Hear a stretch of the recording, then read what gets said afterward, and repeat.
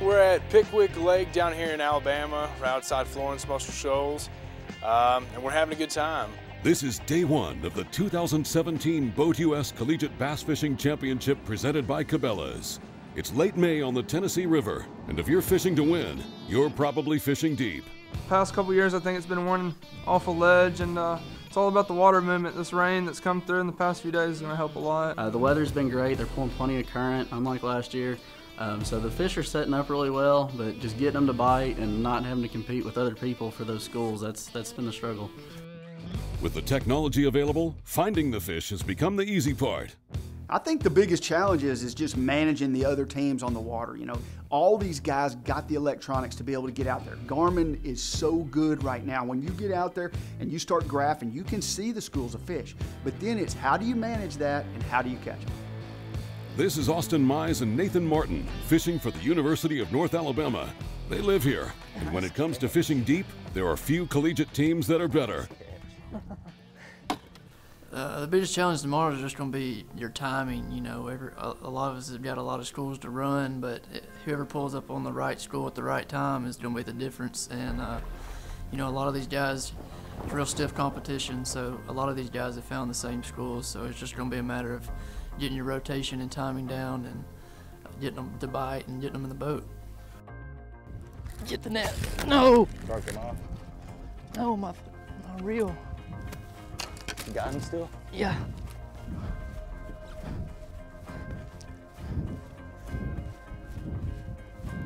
I think. I don't know. Yeah,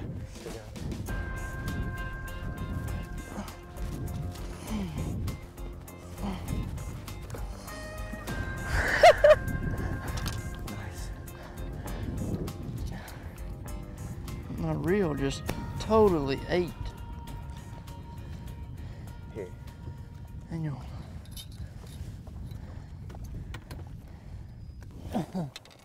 I thought I had a giant because it knocked the crap out of it. When I set the hook, my reel just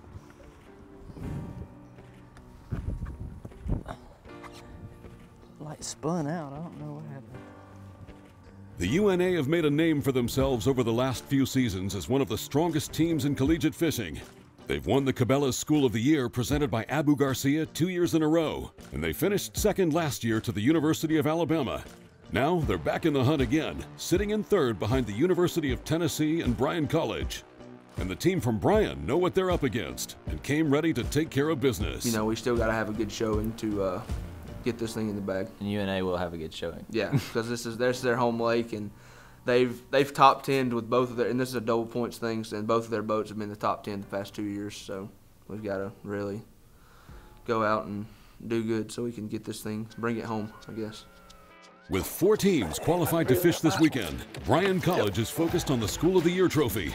They've got a game plan, and they're sticking to it, one fish at a time. Come on, really? There's one. There's one. Here's Cole Sands and Nathan Bell. Got come, off, come off. That was a good fish. Ooh.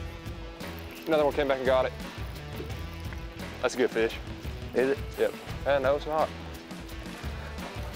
It'll help. With five in the box, Cole and Nathan are culling. It's a game of ounces, and that Cabela's School of the Year presented by Abu Garcia title is within reach.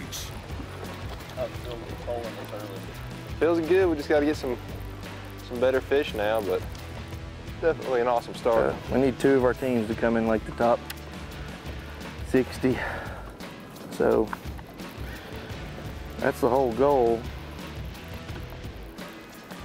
It's just uh, we've we've tried so hard this year to to win that, and being in the position we're in, we feel good as long as we can catch a few. Which, you know, we figured we'd need 12 or 13 pounds, two teams with 12 or 13 pounds both days to win it, which we're getting close to that. So.